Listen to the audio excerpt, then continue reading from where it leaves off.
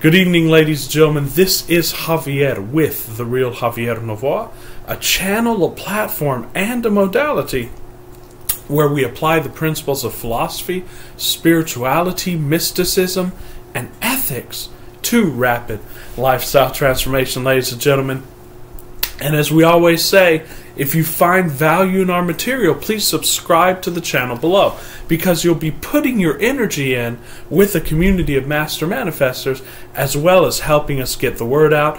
And it's a very important time not only for humanity but also for the trajectory of this channel as we're in the middle of a program of refining ourselves of implementing a strategic plan to be free from the prison grid within a year, and I would say even much sooner than that, but we're giving it a year to give you breathing space. If you want to look at our strategic planning uh, modus operandi, you can look at our past probably 20 videos, and there are a lot of them in there. We already did the stage of meta planning where we plan the plan. If you've not done that, it's okay. You can do that even within a day. You just need to ask yourself some questions like how can I set aside for that plan time? How can I, uh, you know, set aside space? And how can I make sure and commit to myself that I will participate in that plan? And right now we are in the first six months, the first few days of that, which is the iteration and testing phases of which we are going to be getting very specific in the next few videos. But today I just wanted to take another, should we say, 70,000 feet high approach here.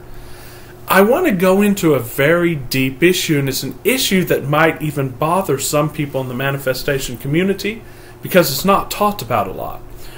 Although Abraham Hicks hints at it, and although Neville Goddard spoke about it frequently, many people today act as if it does not exist. And by the way, Joel Goldsmith also spoke about it. But many people act as if it does not exist or as if it is automatically or spontaneously arising in the very act of manifestation, in the very application of the principles. And that is true over time, and that is true in a generalized framework, but is not always true for the individual.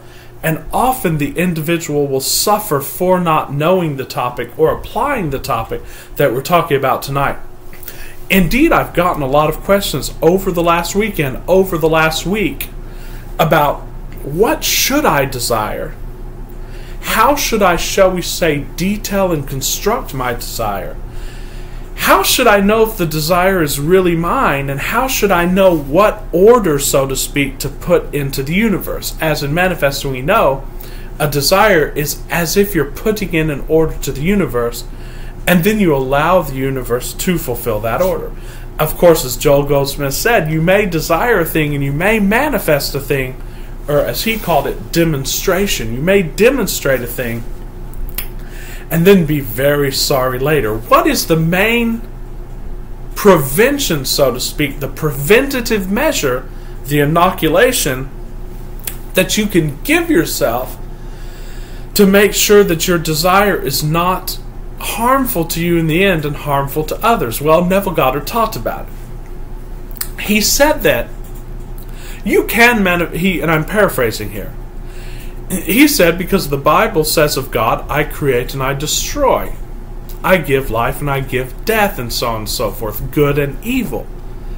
And while it would be shocking to many people that God would be the author of evil, the biblical scripture does state that. And that could be interpreted Thus, you can manifest anything that you want, including harming others. And Neville Goddard said, I cannot hide this from you because it's a fact. You can do that.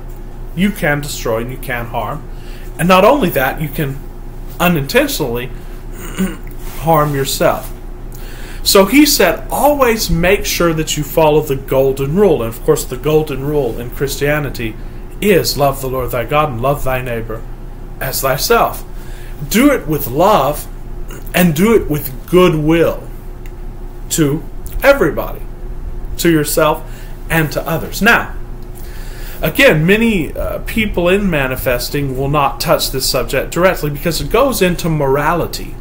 But I'm going to tackle it head on. In fact, I'm going to do even more. I want to, not in this video, because this video is just going to be a sketchy introduction. We are coming out, well, I'm not going to tell you yet, but wait for exciting news here in the next few weeks and months. Very exciting news about this modality. But I am constructing Of course, it's not original, but it's going to be original in the application that we're doing to this channel. I'm constructing a code of morality, a general code, a code of morality and ethics that will be able to guide you in your desires, in formulating those desires, or rather in filling out the detail of those desires. That's a very important thing, ladies and gentlemen, but I think the reason that law of assumption, law of attraction authors don't go into morality and don't go into ethics is because it's reminiscent of a sort of puritanical morality or a puritanical ethics that modern and literalist interpretations of religious beliefs have taught over the years. But morality and ethics has nothing to do with that. And you know, the etymological definition of morality, as I was just looking up in an etymological dictionary, and I knew this, but I just wanted to get the wording, was that literally pertaining to manners. And of course, ethikos is also, in Greek, is actually the word for this, ethics. And Latin is mos. The genitive, of course, is moris, which means one's disposition. Mores, customs, manners, and morals. That is, basically, in one's bearing, in one's carrying. And what is that? That is exactly what we describe into this channel as state, ladies and gentlemen. Morals and manners, or shall we say, moral is the manner or the way of being of your state. So it's very important to know what code of morality that you're subscribing to and consciously using as a sieve or a filter for choosing your state. And Neville Goddard spoke about this. He said many times in his books and his lectures, you because remember, you can have anything you want any way that you want. Why? Because the way of getting there and the way of, of being in that state is also a desire. And you're given anything that you want. Anything that you create here will manifest here. So, of course, you can create it according to your own moral code. and Neville Goddard said this when you create, when you desire, when you get into the state, do it according to your own wonderful moral code.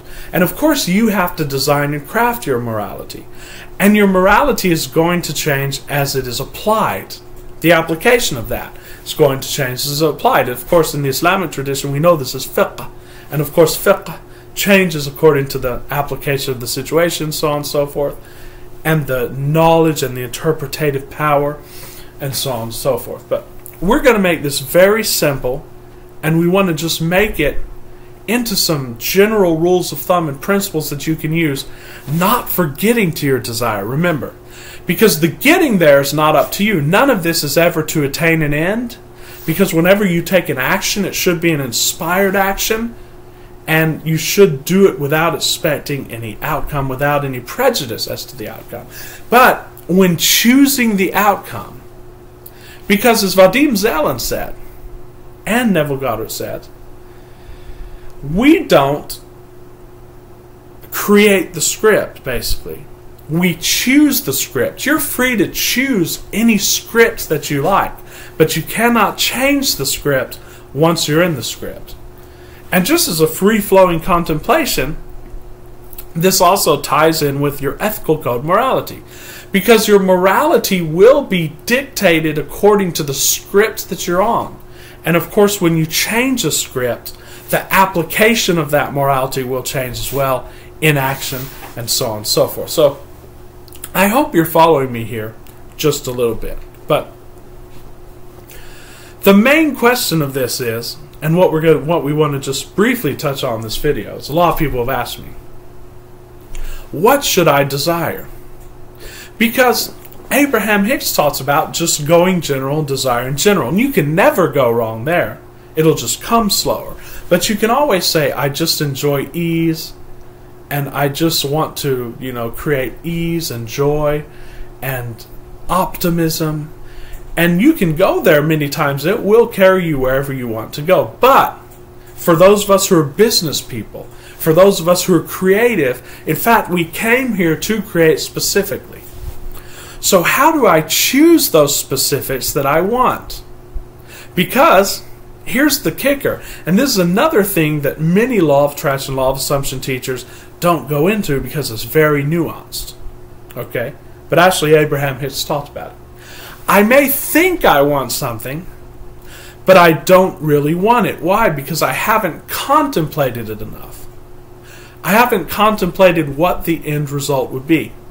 So that's why, especially, you don't have to do this with every desire. You can't do this with every desire because you don't have time. Because it's about focus. But for the major aspects of your major desires, you need to map them out as much as you can and as much as it feels good to do. And then you need to look at at least the major components of that and ask myself, is this really my desire? Now, I want, let's say I say I want a red house. Well, I can go into that and say, is that really my desire? And I might explore it and I might say, well, yes, because I like this color and so on and so forth, and that's it. But I might say, no, I want this, I really want this so I can show this off to people. And then you dig deeper into that.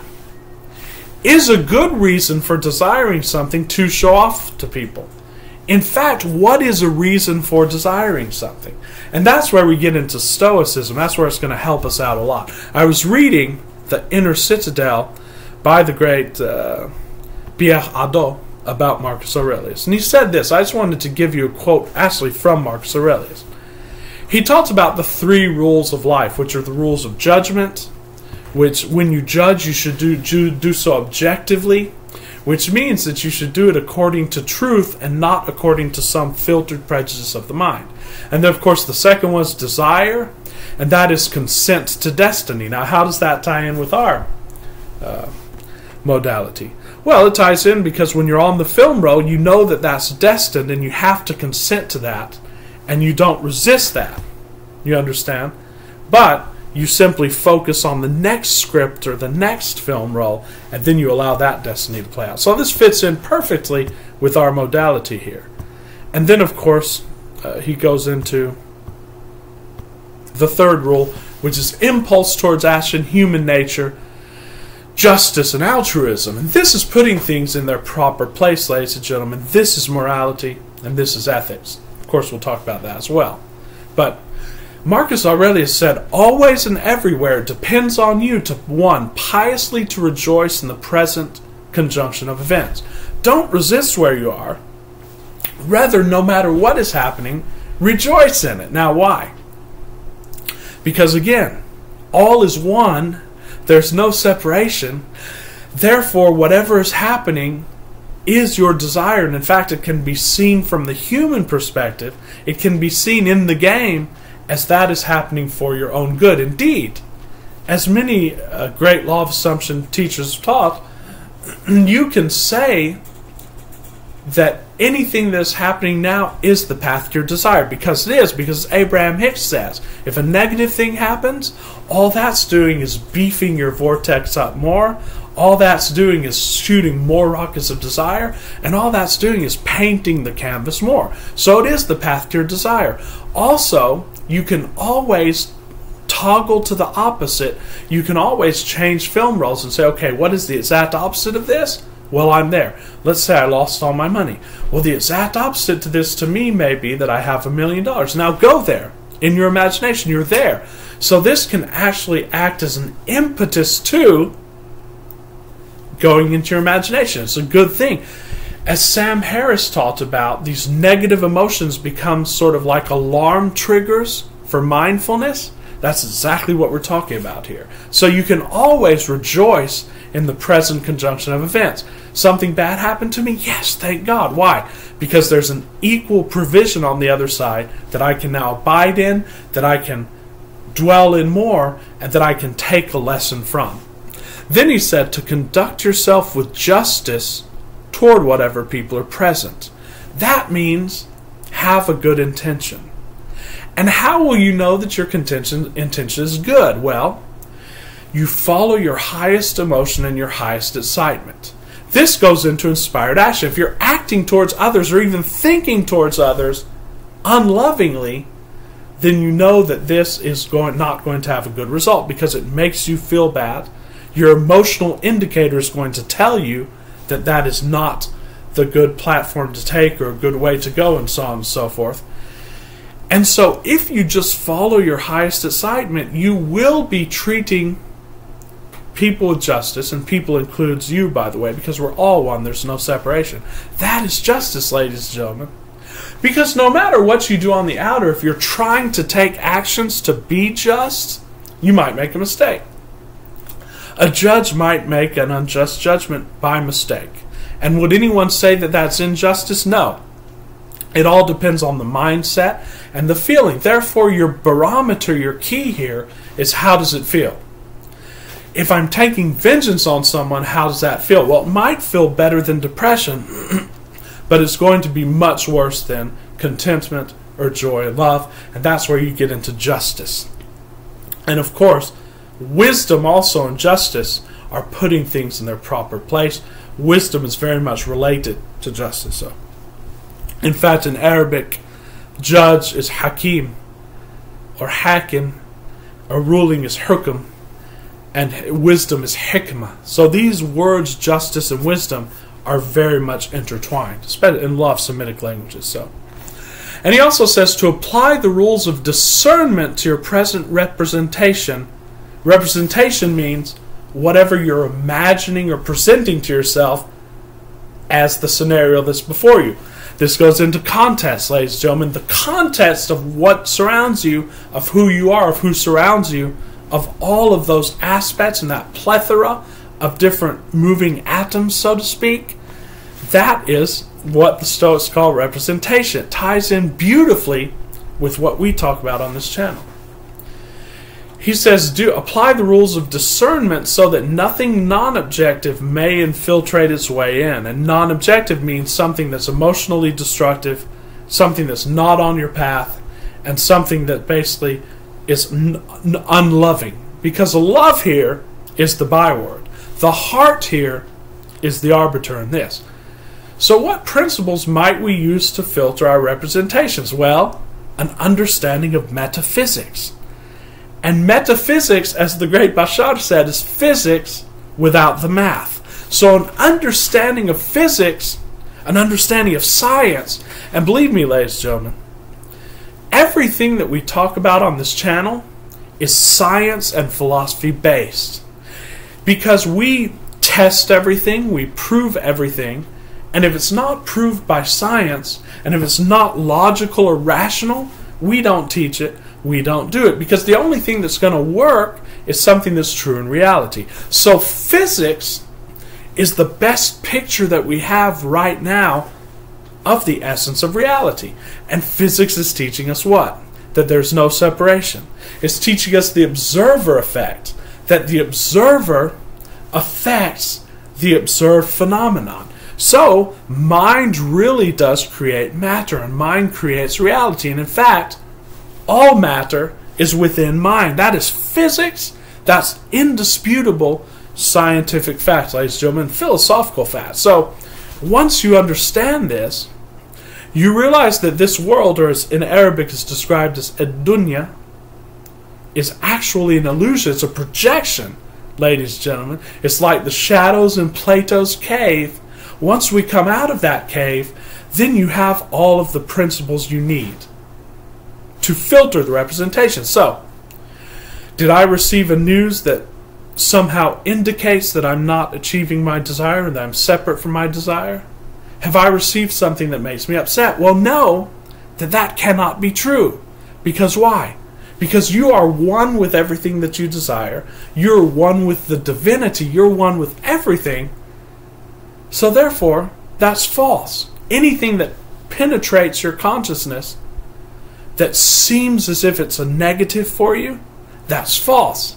So you can use that information and you can re represent yourself the picture of the context that you're receiving. Hope you understand me just a little bit. So, for example, if you get some bad news, you can use what Neville Goddard calls revision. You can revise that and say, No, I didn't hear that. I heard this, and you can recreate the scene.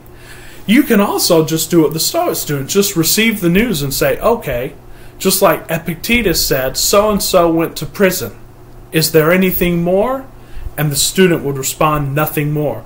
So, so and so went to prison is just a physical fact. But we do not, therefore, shall we say, explicate from that that that is a bad thing. Because anything, again, can be turned into a good thing. These are the principles, these are the ethics, so to speak, of what you have to contemplate. So, not to make this video unnecessarily long, so to speak. We don't want to make this video unnecessarily long.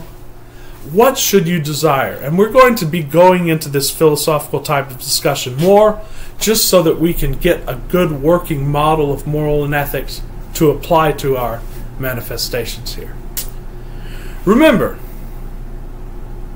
if you're chase if you're chasing after a still shot or a photograph, that cannot be the desire. That's simply a representation of the desire. Remember that. So, for example, when Neville Goddard says, imagine the scene, let's say you want to be with a specific person. But You can imagine the scene of you kissing that person, and you can loop it over and over again. And that will get you into the state to get that desire. But what is your desire? Neville Goddard said, imagine what would happen after receiving your desire. That is in the process of your desire. So remember, what you desire is never a still shot, it's a process. And you can prove this by the said fact. Let's say you desire a million dollars. Well, once you get the million dollars, what are you going to do with it? You want to spend it. and You're going to figure out what to spend it on. That's a process. And I would contend that your real desire is the figuring out what to spend it on. So that's the other thing. That's the second principle. Is that the process is never physical. It's always mental and spiritual.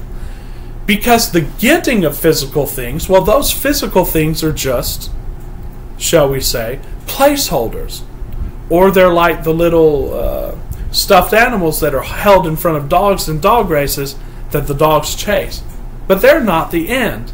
The end is a continual process. So, where does that take us? That takes us to the fact that you're not in your desires to attain an end. Because you can give yourself the end immediately.